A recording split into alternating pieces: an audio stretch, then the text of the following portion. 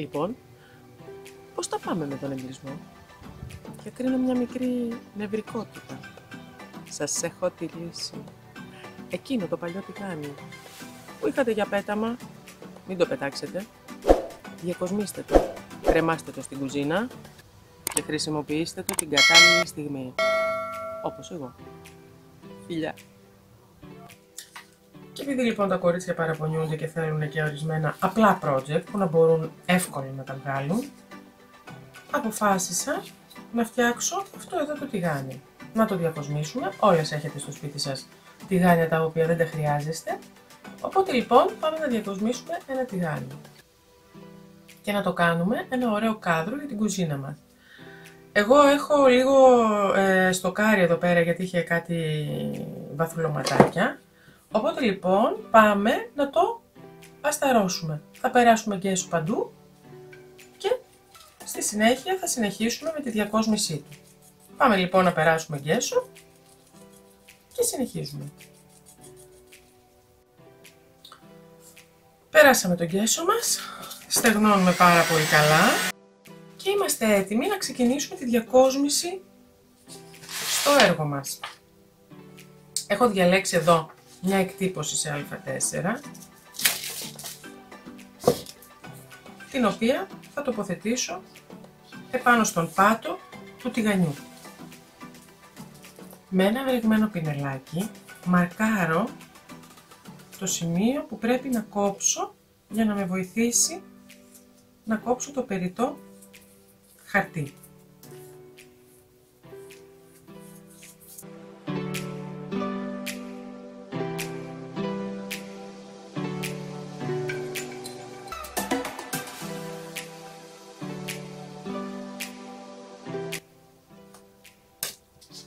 Λοιπόν έχουμε σημειώσει περίπου που πρέπει να κόψουμε,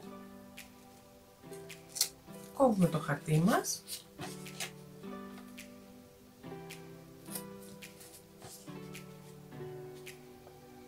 Όχι με ψαλίδι, αλλά με το χέρι. Για να μπορέσουμε να το ενσωματώσουμε καλύτερα μετά στο έργο μας. Εδώ δεν βρέθηκε καλά, δεν πειράζει όμως.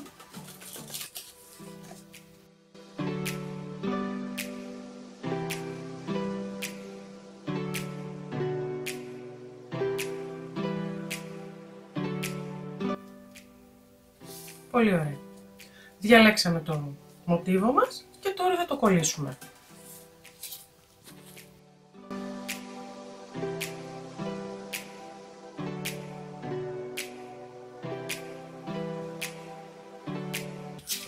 Το μοτίβο μας όπως έχουμε ξαναπεί με νερό, επειδή πρόκειται για χαρτί φωτοτυπίας, να μαλακώσει το χαρτί και να ενσωματωθεί καλύτερα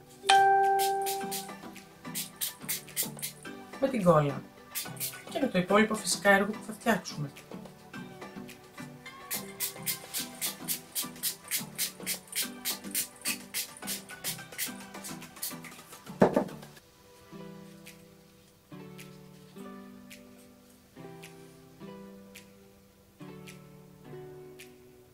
Προσεκτικά.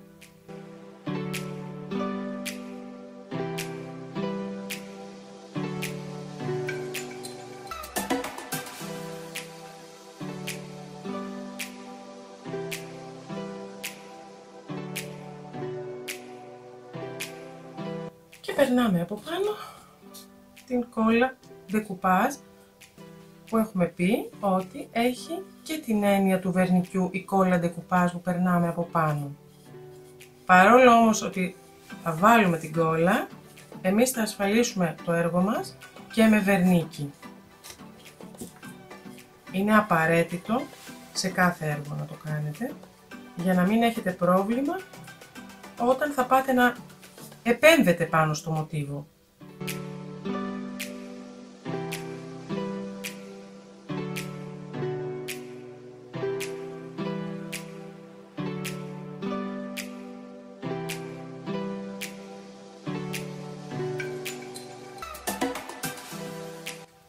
Πάμε να βάψουμε λοιπόν για να στεγνώνει το τηγάνι μας. Να το βάψουμε πρώτα και να προχωρήσουμε στη διακόσμηση με τα στοιχεία από πυλό όσο θα στεγνώνει το τηγάνι. Πήρα ένα μπέζ χρώμα, έτσι ακριβώς λέγεται, το Majestic, για να βάψω.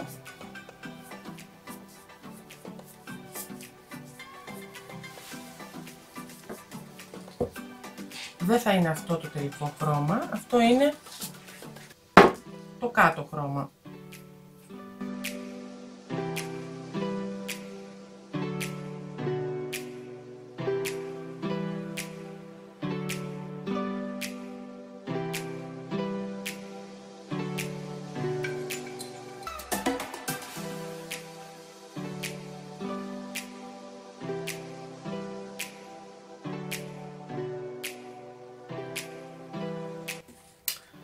Και αφού έβαψα λοιπόν, στεγνώνω πάρα πολύ καλά. Έχω στεγνώσει. Και το δεύτερο μου βήμα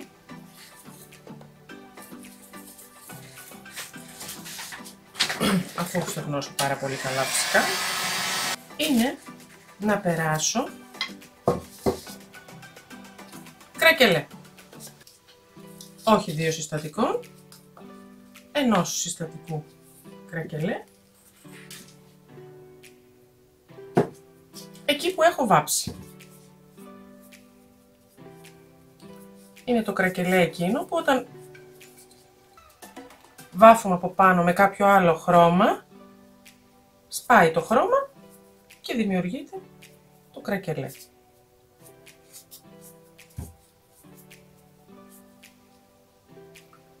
Είναι το λεγόμενο κρακελέ σάντουιτς αυτό. Έτσι το λέμε. Γιατί βάζεις δύο χρώματα, ανάμεσα βάζεις αυτό το κρακελέ και σπάει το από πάνω χρώμα με αποτέλεσμα να φαίνεται το από μέσα. Υπάρχει και το κρακελέ το οποίο βάφεις με δύο αποχρώσεις. Βάφεις δύο αποχρώσεις, βάζεις από πάνω από το τελικό χρώμα το κρακελέ σου και αυτό πάει και σπάει το κρακελέ.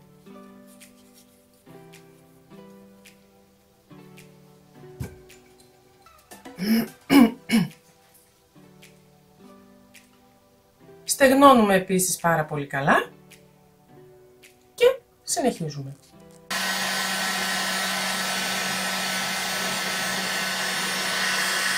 Όσο στεγνώνει το κρακελέ μας, εμείς θα πάμε να φτιάξουμε τα διακοσμητικά που θα βάλουμε γύρω γύρω στο τηγάνι.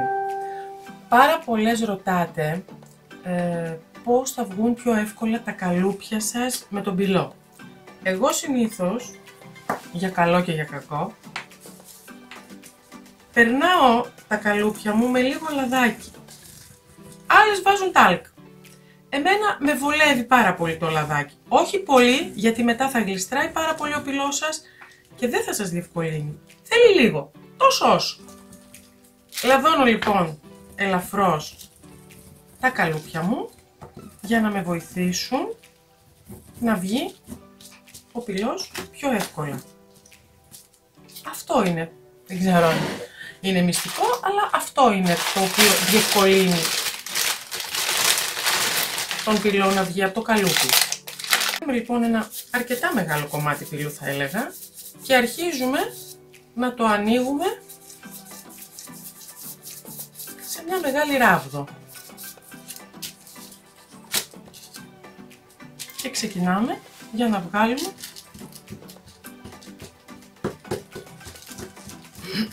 την μπορτούρα μας. Αφαιρούμε το παραπανίσιο προσπαθούμε να ταιριάξουμε το προηγούμενο για να βγει μια καλή συνέχεια στην μπορντούρα χωρίς κενά. Έχουμε κάνει μια μπορντουρίτσα η οποία θα μας χρειαστεί και πάμε να κάνουμε και τη δεύτερη μπορντούρα μας.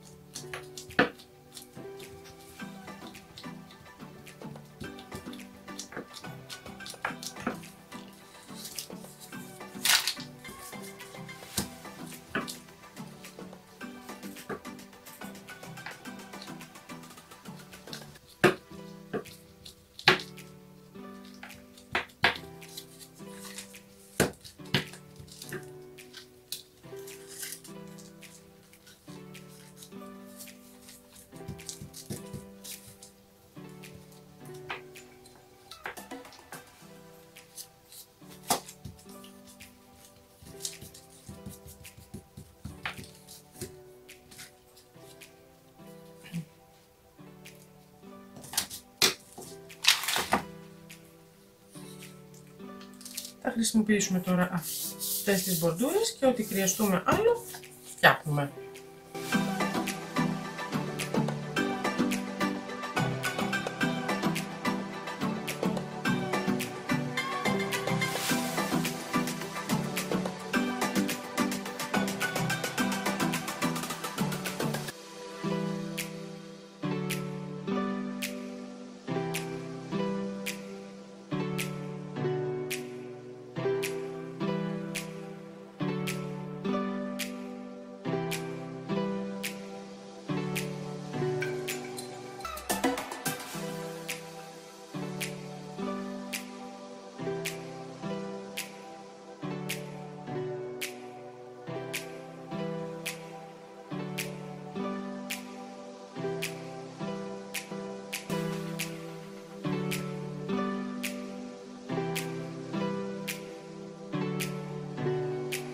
Βασικό βήμα δεν θα ξεχάσουμε να περάσουμε βερνίκι επιπλέον πάνω στην εικόνα μας.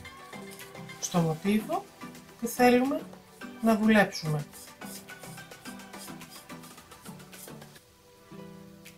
Έτσι. Πάντα βερνίκι.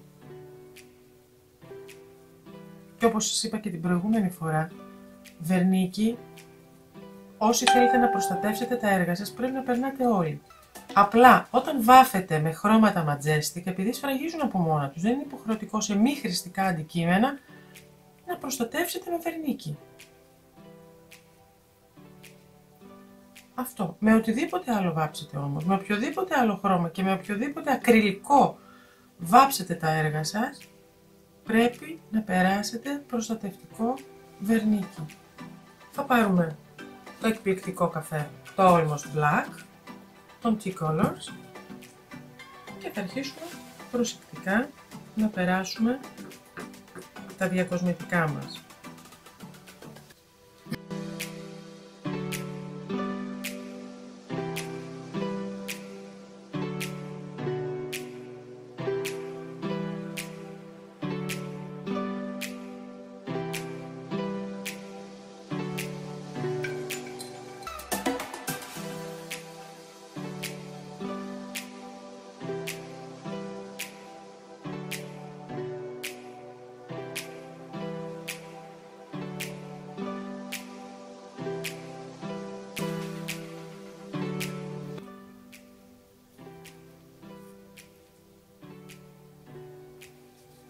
Να υπενθυμίσω ότι θα προσέχετε στο κρακελέ πάρα πολύ γιατί θέλει μία φορά πέρασμα γιατί αν πάτε να περάσετε ξανά από πάνω θα σας χαλάσει το κρακελέ.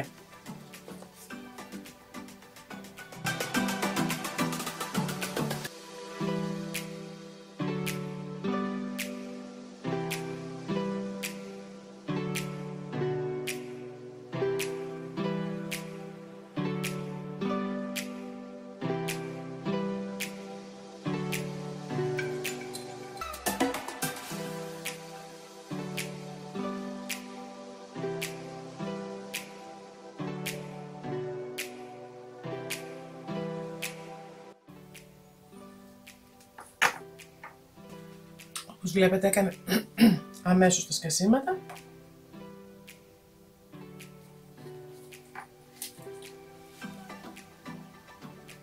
Έτσι. Και το κρακελέ μας είναι σχεδόν έτοιμο.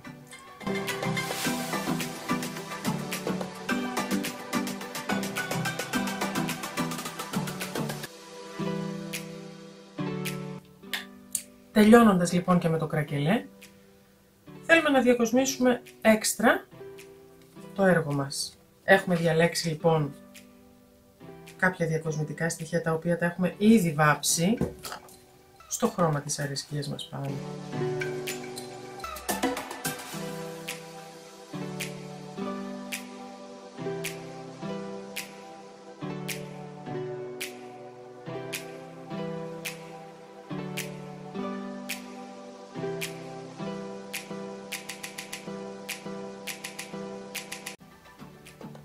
Προσπαθούμε να καθαρίζουμε πάντα την περίσσια κόλλα, να μην μένει και μας χαλάει την εικόνα του έργου.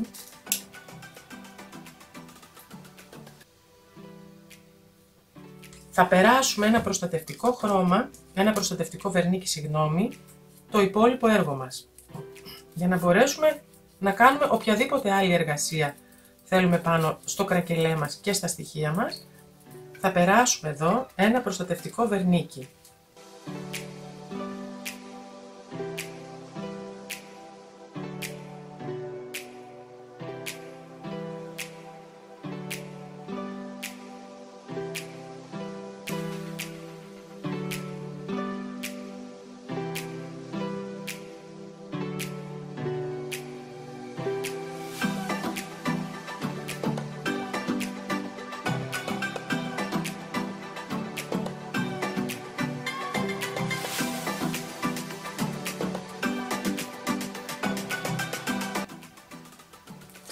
Επέλεξα όπως βλέπετε το στοιχείο και τα δύο στοιχεία μου να είναι διαφορετικά από το καθέ χρώμα που βάψαμε όλο το υπόλοιπο σύνολό μας, έτσι ώστε να υπάρχει και μια αλληλουχία και συνδυασμός με τα χρώματα που έχουμε επιλέξει στο μοτίβο μας.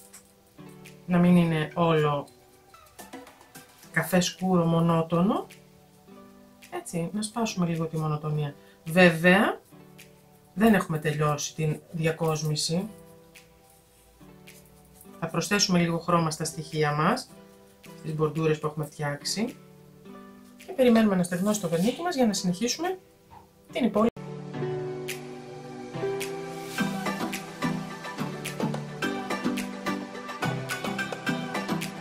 Θα προχωρήσουμε με ένα υπέροχο χρώμα από τα καινούργια craft της Αναστασίας να πάμε και να περάσουμε τα διακοσμητικά μας που φτιάξαμε έτσι ώστε να τα τονίσουμε ελαφρά.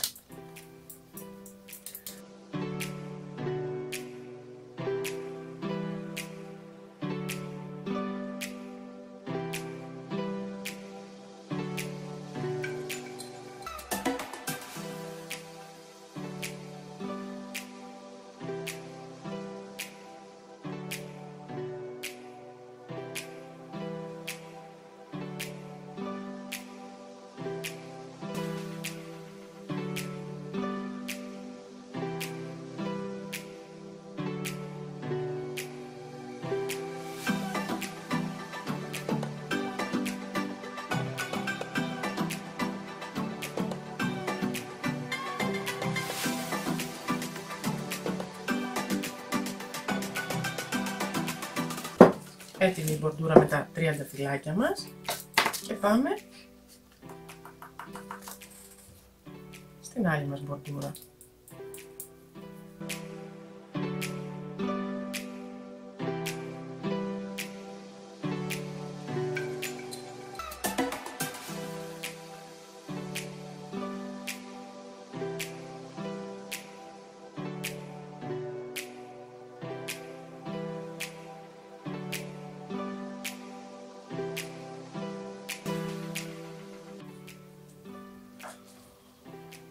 Για το επόμενο βήμα πάρει την πάστα που φτιάξαμε την προηγούμενη φορά. Έχω επέμβει λίγο στο χερούλι και έχω πάει γύρω από την μπορντούρα μας και επίσης επεμβαίνω στο κενό που υπάρχει έτσι ώστε να φτιάξουμε μία υποψία σκουριάς επίσης.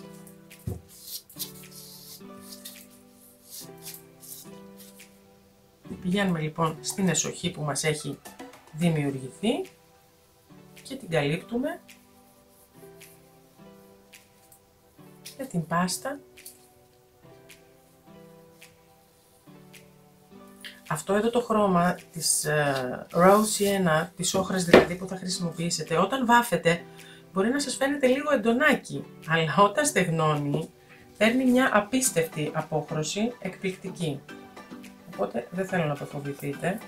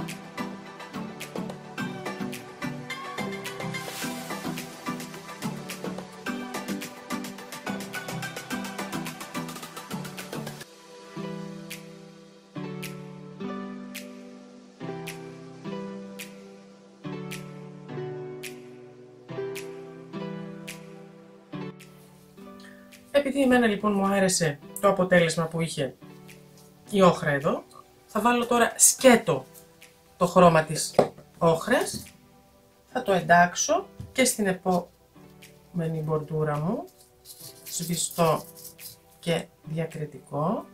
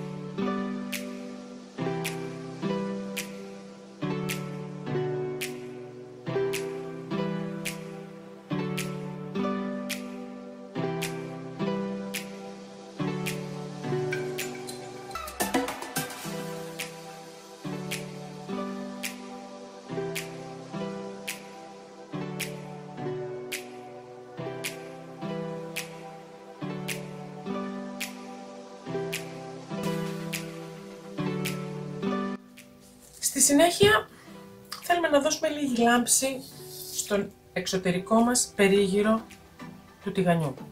Θα πάρουμε μια πατίνα, εγώ πήρα την πατίνα αντικέ μεταλλική Lemon Gold από τα El Greco και τόνισα, έδωσα μια γυαλάδα στο κρακελέ μου το οποίο περιβάλλει το μοτίβο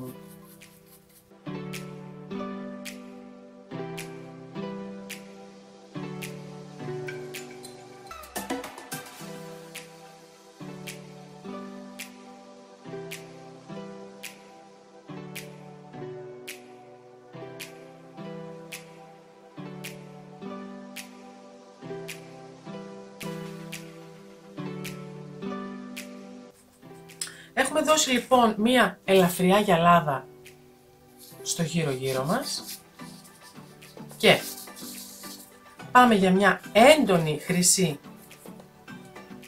απόχρωση στα τριανταφυλάκια μας. Νομίζω ότι το σηκώνει η περίσταση. Γι' αυτό θα πάρω την πατίνα της Pentart, τη χρυσή, και θα περάσω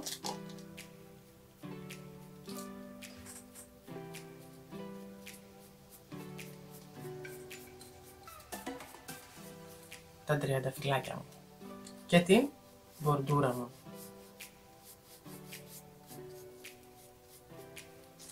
Έρε χαρά που θα κάνουν τώρα ορισμένες με την χρυσή την πατίνα που βάζω.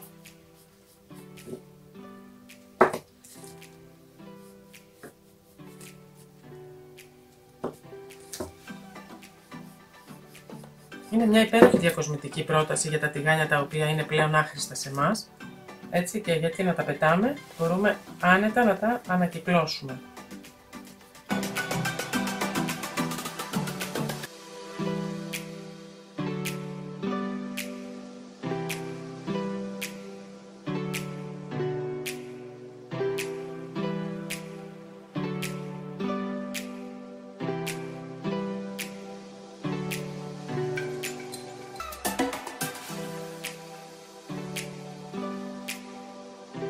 Θα περάσουμε με ένα πινέλο μία πατίνα μούμπρα, απλά ίσα ίσα για να παλαιώσουμε λίγο την εικόνα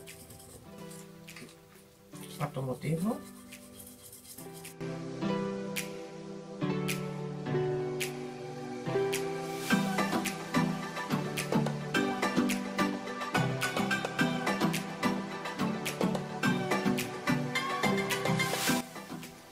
Στο τέλος αν θέλουμε, μπορούμε να προσθέσουμε ορισμένες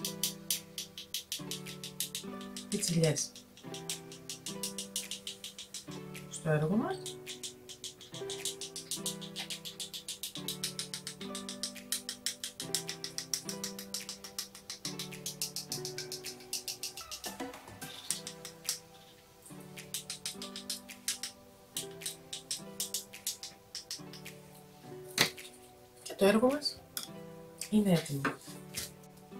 Σας ευχαριστώ πολύ που για άλλη μια φορά ήσασταν μαζί μου.